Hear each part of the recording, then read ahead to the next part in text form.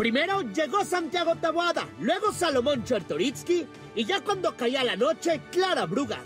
Ya para las 8 se dieron hasta con la cubeta y lanzaron sus propuestas más ruidosas. La Ciudad de México está abandonada. Se les cayó el metro. Los adultos mayores pelean por medicinas. Hoy no sale suficientemente agua. Ustedes, Clara, han hecho el peor gobierno en la historia. A ustedes se les cayó el negocio del cártel inmobiliario. A ustedes se les cayó hace poco toneladas de cemento encima del metro.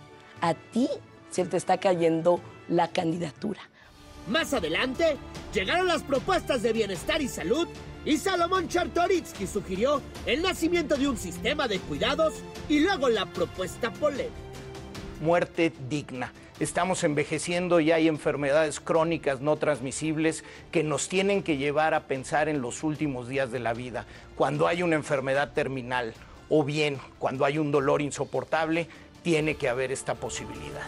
Santiago Taboada propuso prestación de servicios médicos de por vida a quien nazca y vive en Ciudad de México. Las medicinas que te, que te quitó Morena, te las vamos a regresar. Seguro Popular, vamos a regresar las estancias infantiles. Clara Brugada enfiló sus baterías en edificar estancias para menores y adultos mayores. Vamos a hacer el mayor sistema público de cuidados del país. Vamos a construir casas de día para los adultos mayores, para que haya desarrollo, salud mental, físico. Vamos a crear cientos de centros de rehabilitación para personas con discapacidad. Cada propuesta llevaba ataque incluido, lo que provocó que Chertoritsky se sintiera como en el cine. Yo me traje hasta mis palomitas porque ya sabía que no iban a querer discutir conmigo. Con la gente seria no quieren discutir. Quieren adjetivos, quieren gritos. Discutamos los temas de adeveras. Ya con las palomitas en la mesa, las propuestas de movilidad. Aquí, las ideas de Taboada y Chertoritsky fueron similares. A lo que hay que apostarle es al metro. Por eso nosotros hablamos de ampliarlo. Dijimos en una primera etapa, cuando empiece el Mundial al Azteca. Después irá a Xochimilco, mi querido Sal- Salomón. Tenemos que darle mantenimiento primero. Eso, esa palabra que no les gusta es Vamos a ampliar la línea 2 del metro que llegue desde Tasqueña hasta Xochimilco y Milpalta, no hasta la Azteca, Santiago. Y mira, si van a estar hablando de mis propuestas, te lo agradezco, pero pues te doy mi libro, por lo menos cítenme, porque ya ven que eso del plagio se ve muy mal.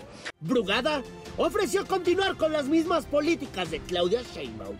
Vamos a construir el cablebús en, en Álvaro Obregón, en eh, Magdalena Contreras, en Coajimalpa, en Tlalpan, en, en, Tla- en Milpalta, Xochimilco. Vamos a construir dos líneas de Metrobús, la que va por todo el circuito interior y una, la más grande de 56 kilómetros, que va en periférico. Y vamos a seguir promoviendo ciclovías Cuando llegó la ronda de desarrollo económico, Brugada resaltó lo alcanzado por los gobiernos federal y capitalino.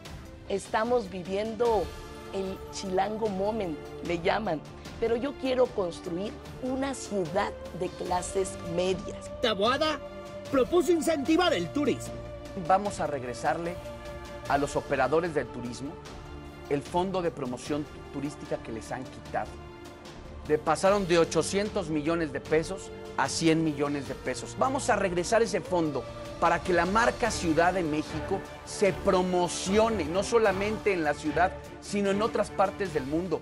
Chertoritsky mandó a volar al aeropuerto Benito Juárez. El aeropuerto de la Ciudad de México se tiene que ir, se tiene que mudar, pero además por un tema económico. Primero, el aeropuerto ya nos queda chico, está cayéndose a pedazos. Esta ciudad moderna necesita un verdadero aeropuerto que pueda conectar personas y carga con el mundo. Un debate que sirvió para que dos candidatos se cuestionaran sobre la compraventa de sus casas. Pues vamos a hablar de cómo te hiciste de un inmueble por 330 pesos. Por cierto que no lo declaraste. ¡Qué negociazo! Nos hubiera encantado que todos en la ciudad pudiéramos tener un inmueble de 152 metros cuadrados por 339 pesos.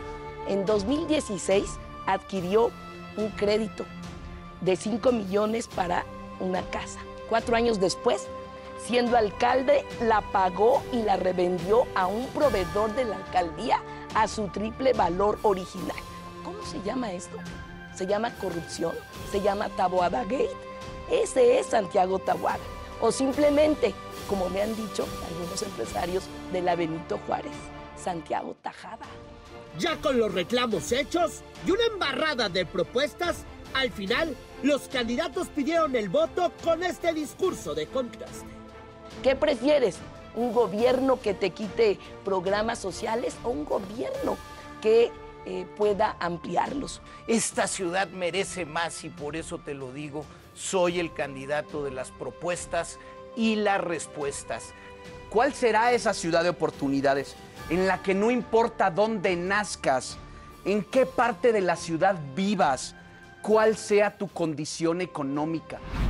Y afuera de la sede, todos se declararon ganadores y hasta les alzaron la mano. ¡Jefe de gobierno! ¡Jefe de gobierno! ¡Jefe de gobierno! ¡Jefe de gobierno! ¡Jefe de gobierno!